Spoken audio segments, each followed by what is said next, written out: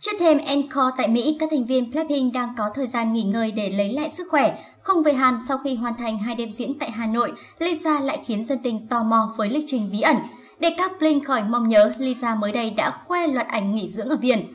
Có thể thấy tâm trạng của Lisa đang khá tốt, tranh thủ nghỉ dưỡng, cô không make up hay làm tóc cầu kỳ như mọi khi, mà để mọi thứ thật tự nhiên. Combo sơ mi trắng quần short slim cũng được Lisa tận dụng triệt để làm đồ khoác ngoài bikini. Chỉ trong một tiếng, Lisa đã khiến hơn 3 triệu người thả tim vì bức ảnh bikini khoe dáng chuẩn chỉnh như siêu mẫu. Bóng lưng, tỷ lệ cơ thể lẫn đôi chân thon dài của Lisa đều khiến netizen khắp nơi khen ngợi. Trước đây thì Lisa cũng từng có vài lần khoe ảnh diện đồ bơi nhưng cô luôn theo trường phái nửa kín nửa hở. Vào ngày hôm nay mùng 10 tháng 8 thì Jisoo cùng với Rose đã có mặt tại sân bay để khởi hành sang Mỹ. Nhóm sẽ có buổi diễn tại concert Bonping tại New York. Xuất hiện tại sân bay Jisoo xinh đẹp nổi bật với áo jean, chân váy phối cùng bốt cao, nữ thần tượng nở nụ cười rạng rỡ thân thiện với người hâm mộ. Truyền thông Hàn Quốc dành nhiều lời khen cho cô nàng, Jisoo sinh ra để được yêu, thiên thần với trái tim xinh đẹp. Đây là lần đầu tiên Jisoo xuất hiện trước giới truyền thông sau khi công khai hẹn hò với nam diễn viên An Bo Hyun. Cặp đôi xác nhận hẹn hò vào ngày mùng 3 tháng 8. Trong khi đó thì Rose cũng xuất hiện xinh đẹp và rạng rỡ tại sân bay. Cô nàng mặc áo phông của The Row và váy phi công của Sandy Liang. Điểm nhấn là chiếc kính của Saint Suốt chặng đường tại sân bay, cô luôn thân thiện và tươi cười với người hâm mộ. Mới đây thì theo tờ Koreabo đưa tin có một thứ gì đó trên cửa hàng của Blackpink liên quan đến Jennie đã làm dấy lên lo ngại về việc liệu thần tượng có thể rời YG Entertainment.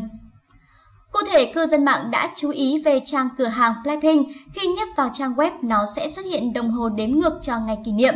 Nhưng cư dân mạng nhận thấy điều gì đó khi nhấp vào tab bộ sưu tập, nơi có một danh sách các tùy chọn khác nhau cho hàng hóa. Khi tab được nhấp vào, trong số các danh mục có các tùy chọn cho tên của tất cả các thành viên, ngoại trừ Jennie.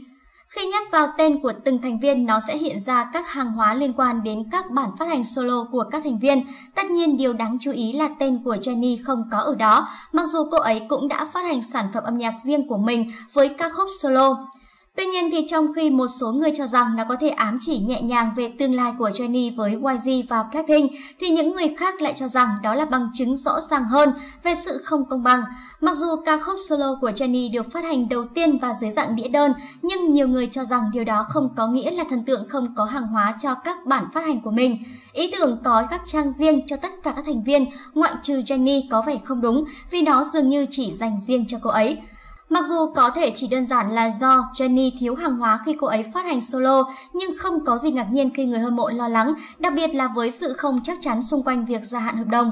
Mặc dù có thể là vấn đề sơ suất nhưng các Blink cho rằng điều đó không công bằng với Jennie. Các bạn có những suy nghĩ gì về những thông tin vừa rồi? Hãy để lại bình luận dưới bên dưới video nhé. Còn bây giờ thì Thu Hằng phải nói lời chào tạm biệt với các bạn đây. Xin chào và hẹn gặp lại.